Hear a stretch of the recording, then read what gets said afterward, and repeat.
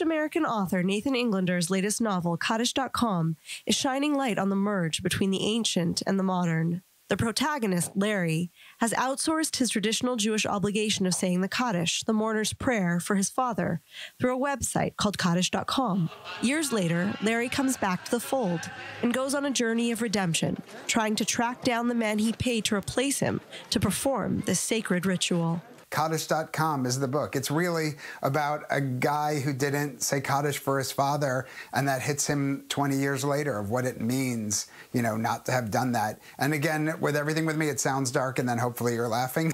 The story is an allegory for a culture deeply rooted in the past, trying to navigate its way in the modern world. I grew up, you know, super religious. We had these concepts of, you know, heaven and hell and God, you know, these notions that the rabbis are always trying to instill in you and hammer into you. I guess I really just was looking back, you know, at the sacred and the profane. That boundary obsesses me, like that tortured, you know, I inhabit both worlds. I'm always wrestling with identity, and so many people do inhabit both worlds, and that's what I wanted to look at in this book. In search of redemption, the story's protagonist eventually finds himself in Jerusalem mirroring a chapter in Englander's own life.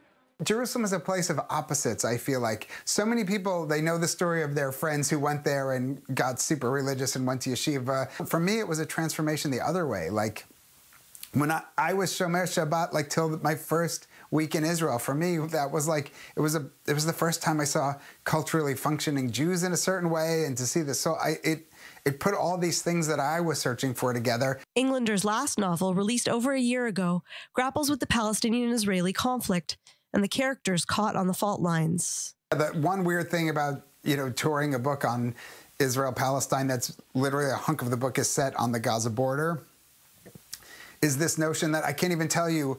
Uh, I just got back from the West Coast last night. How many Oh, I've been touring this book for more than a year. I've been on the road touring and touring. I can't tell you how many nights I get up on stage and there's just been Gaza border conflict. As he toured as a Jewish author in the wake of the deadly October attack in a synagogue in Pittsburgh, when 11 people were killed and seven injured.